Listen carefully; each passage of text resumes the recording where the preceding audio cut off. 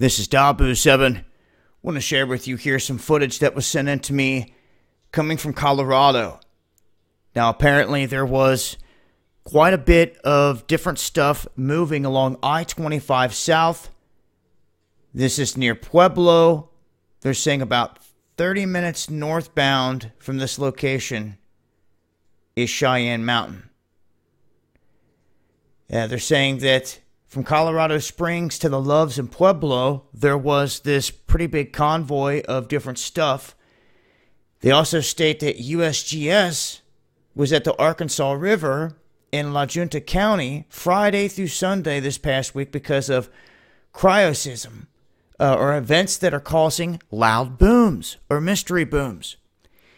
This is one of the vehicles that was spotted along with generators and a whole bunch of transformers, which the transformers blowing up are what are responsible for causing the skies to turn blue and light up in some of these events we've seen over the past couple years. Where people thought aliens or something was coming in when it was a transformer or multiple ones exploding or a power station exploding, giving off kind of the same effect but amplified. This vehicle caught the attention of the people that were going through here because the wind gust had shredded off the top that was covered in plastic.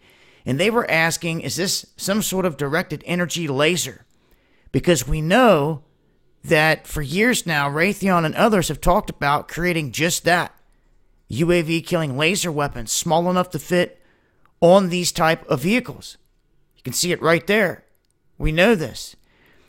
Not sure what this is. If anyone has any information on exactly what this could be, let me know. Hit me up, dahboo7yahoo.com. I'm going to run some footage, though, here that shows these generators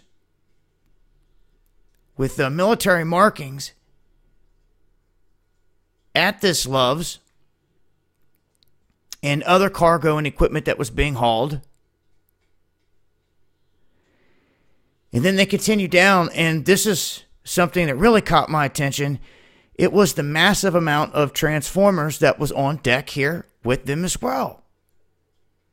He said that they counted around 100 of them.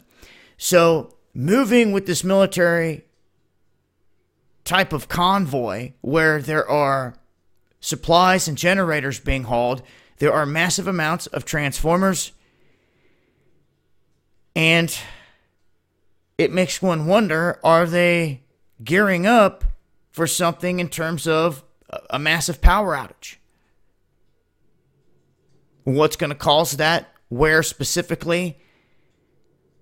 I'm not sure, but this was headed west, they're saying, toward Utah, toward California, things of that nature.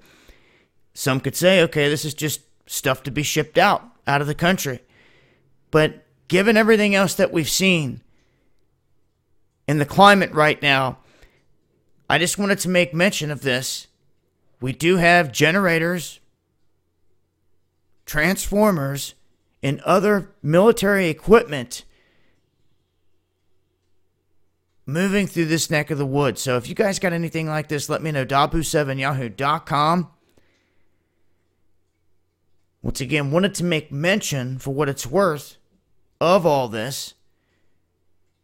Make sure to follow me on Twitter for more as well. This has been Dahboo7. Much love and a much love to everyone out there that sends info my way. Much love, Prophet.